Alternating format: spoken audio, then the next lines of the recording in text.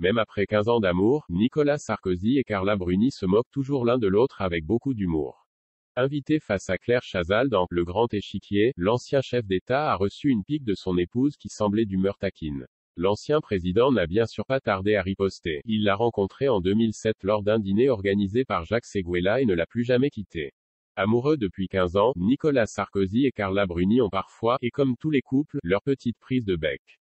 Invité dans l'émission Le Grand Échiquier sur France 3 présentée par Claire Chazal, le 1er juillet 2022, l'ancien chef d'État a reçu une pique de sa femme, un brin moqueuse. Venu interpréter le titre 12 France de Charles Trenet, l'ancien mannequin a tout d'abord reçu les éloges de son mari, très admiratif de sa performance.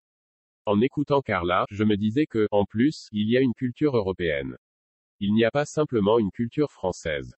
Finalement, Carla, qui a la double culture, en chantant en italien 12 France, on s'y retrouve. Mais ça veut dire qu'on n'est pas simplement de son pays, on est de son continent.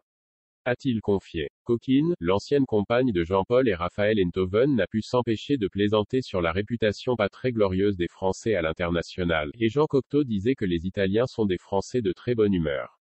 Est-ce que c'est aimable ça? A alors répondu l'ancien président, sûrement un peu vexé par la remarque de son épouse. Je l'admire, mais bien sûr, il en faut bien plus aux parents de Julia, née en 2011, pour se disputer.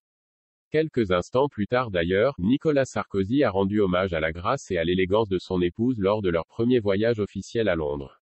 Carla était dans un carrosse tout noir tiré par huit chevaux noirs, avec le duc d'Édimbourg. Quand elle est descendue, j'avais mon cœur qui battait, d'abord de sentiment et ensuite de fierté.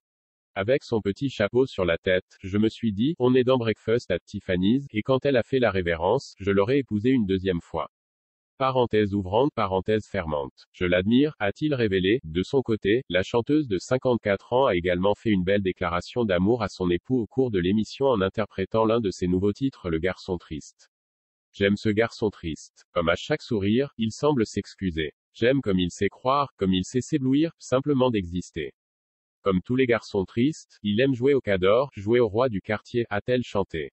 Des mots qui semblent décrire à merveille définir l'ancien président de la République qui a gouverné la France de 2007 à 2012.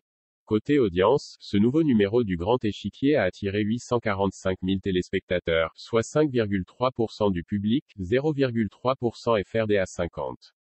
Le précédent numéro, programmé le vendredi 29 avril dernier, avait séduit 750 000 curieux, soit 4% du public et 0,5% des FRDA 50.